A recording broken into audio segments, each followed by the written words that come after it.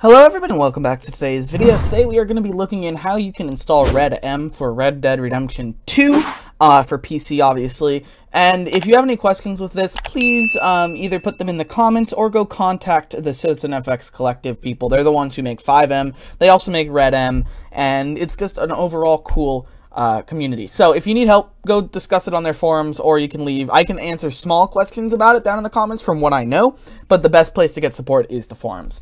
Anyway, so all you have to do to download, you have this page here. There's no like big download button, but uh, the launching now, the now button's actually a download button. So you just have to click down now and it will download. Um, what I recommend doing for this is to make a folder on your desktop and name it like RedM Launcher or like RedM, just RedM or something. It's up to you what you name your folder on your desktop, but that doesn't really matter. So just go ahead and drag this exe into that new folder. You don't need this download anymore. You're actually not going to need that at all anymore. And we're all we're going to do is click this exe file. Now, if there's a warning that says Windows protected your PC, just click more info and run anyway.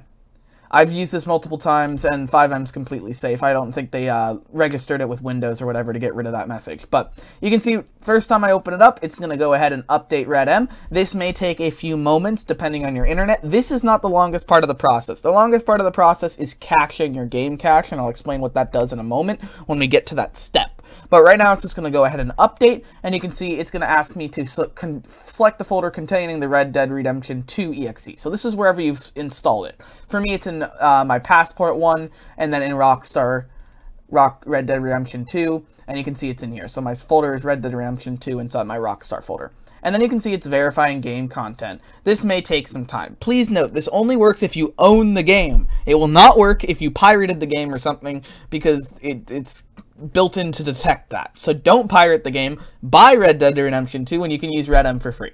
That's how it takes. Just buy the game.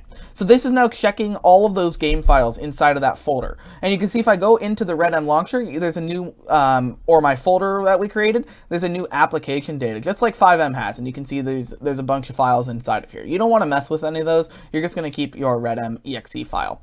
And this may take some time, so we're just going to talk about what RedM is versus FiveM while we wait. So RedM is kind of FiveM for Red Dead Redemption 2. It doesn't have that many resources or trainers. All trainers are server side from what I understand so far, and it's um it is updated, but it's not updated as often as FiveM is. So please keep that in mind when you're um, using it, and be noting there are active servers, but there's not that many active servers. So it says uh, FiveM needs to update, or RedM needs to update your game cache. It will copy 6.9 uh, from your local disk into the new thing and download uh, 3 gigabytes from the internet and just press yes to this. Um, and if it asks you for permission, just allow access because it actually has to copy files over. And then you can see it is now updating. So this will take some time. Please note, just leave it on. It may take 20 to 30 minutes depending on your internet, um, and it will take some time. So just leave it on, and eventually it will get done. Um, you don't have to really worry about it. But overall, it is a quite simple process to get installed. After this, we'll go ahead and launch it and see what happens. So I'm going to leave this on, and we'll see what happens in a few minutes when it's downloaded. So while this is just speeding up here, I just wanted to say make sure you have the Rockstar Launcher open when you run it for the first time. Otherwise, you'll run into an error. I skipped over the part where I figured out that, but just make sure you have it open for your first time. Let's hop into starting it with the exe file now that it's downloaded. We're going to go ahead and launch RedM, and we're going to get in there.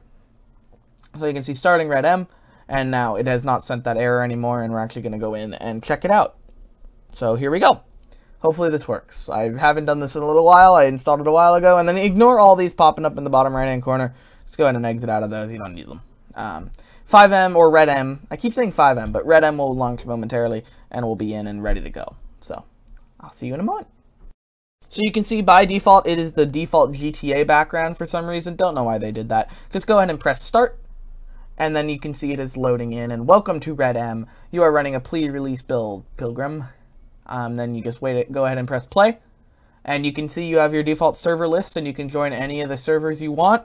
Uh, there's quite a few servers. Most of them don't really have that many players, but you can just go ahead and join one of the top ones and you're good to go and you'll be in here ready to go. There's some cool like roleplay servers in there. There's some uh, cool like just random roleplay and city servers and everything, so keep working on it and um, it, you should have fun with it and it should go well. Obviously, there's a change log and stuff over here. Uh, there's also settings, uh, so you can set your player name and interface if you want the localhost menu and stuff. So it's kind of like FiveM is, but just for Red Dead Redemption 2.